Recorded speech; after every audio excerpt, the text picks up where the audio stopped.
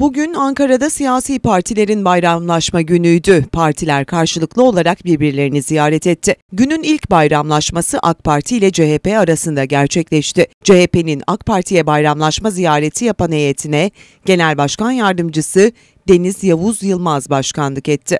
AK Parti heyetinin başında ise AK Parti Genel Başkan Yardımcısı Belgin Uygur yer aldı. Gazze gündemiyle başlayan bayramlaşmada daha sonra da ekonomi gündemi ele alındı.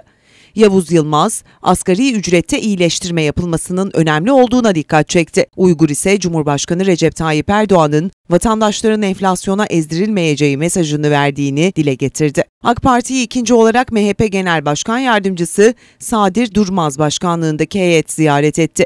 Genel Başkan Yardımcısı Uygur, İslam aleminin MHP camiasının ve 85 milyon vatandaşın bayramını tebrik etti.